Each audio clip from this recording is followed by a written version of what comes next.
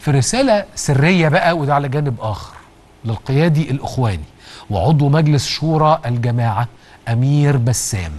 تم تسريبها مؤخرا بيكشف فيها كواليس الفترة الحالية والبائسة اللي بيعيشها التنظيم. بيقول القيادي الإخواني أمير بسام في رسالته للتنظيم إنه هنا أنه في حالة انهيار تام في أو انهيار تنظيمي تام في الشارع المصري. وكذلك هناك حجم كبير من النفور العربي من تنظيم الإخوان وإنه لم يتبقى لهم شعبية. جانب من هذه الرسالة موجودة قدامنا على الشاشة بالمناسبة ويمكن هنسمعها بالصوت كما نشاهدها الآن بالصورة. قال كمان إيه؟ توقعت عايزين بس نستعد إن إحنا هنجيبها من أولها. وقال كمان توقعت أن تذهب وفود منا للسفارات المختلفة في الدول التي بها كثير من المهاجرين مثل تركيا وبريطانيا وغيرهما. والتعامل الصوت مش معنا للأسف طيب والتعامل مع السفارة على حسب موقفها من النظام المصري. ونشرح لهم الأمر. ومرسلة نرسل رسالات للحكومات في هذه السفارات لكن هذا لم يحدث. قال كمان توقعت حملات شعبية ووقفات على مستوى العالم أمام السفارات المصرية ترفع لافتات ربعة والنهضة ولم يحدث. توقعت إعلانات مدفوعة الأجر في كبريات الصحف عن حالة محمد مرسي وعن الشؤون الداخلية للجماعة. ولم يحدث.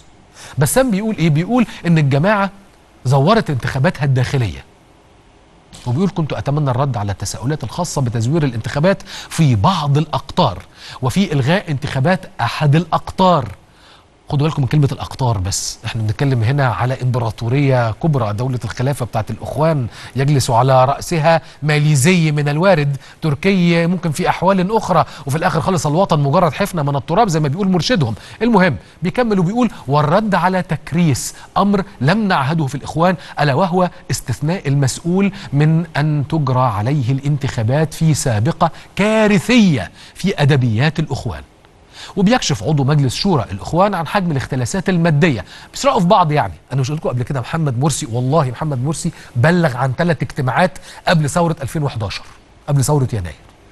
هو شخصيا كان مرشد عشان ينال رضا الأمن السامي. أمال هو داخل البرلمان إزاي يعني؟ فوت. المهم كشف عن حجم الاختلاسات المادية داخل التنظيم تنظيم حرامية في بعضه يعني. قائلا كنت أتمنى أن نبدأ امرا جديدا ألا وهو الشفافية والمحاسبة في قضية إنفاق أموال الجماعة. ومن يتقاضون مخصصات مقابل التفرغ ومواصفات من يوظفون في مؤسسات تابعة للجماعة. ومصاريف السفر والإقامة في الفنادق والتي في الغالب خمس نجوم على الأقل وامتلاك البعض لشقق سكنية باسمه. ده كلام أمير بسام عضو مجلس شورى الجماعة. ده يفكرني بلما كنت أنا وإبراهيم جد ومحب منير زملائي الأعزاء في ليبيا وقابلنا نائب أمير داعش في سرت ولما سألته اتقبض عليك إزاي فلقيته بيقول لي واتقبض عليا وأنا خارج ب 2.5 مليون دينار ليبي. ده هنا بتضرب تقريبا في حوالي 4.5 جنيه. تعرف الرقم قد إيه يعني؟ وخدتهم منين دول؟ قال لي من خزانة الأمير. قلت له يعني سرقته لو تتذكروا اللقاء موجود يعني عرضناه قبل كده على الهوا كذا مرة. قال لي آه. قلت له ليه؟ قال لي عشان أصرف منه على مراتي وعيالي. بس خلاص.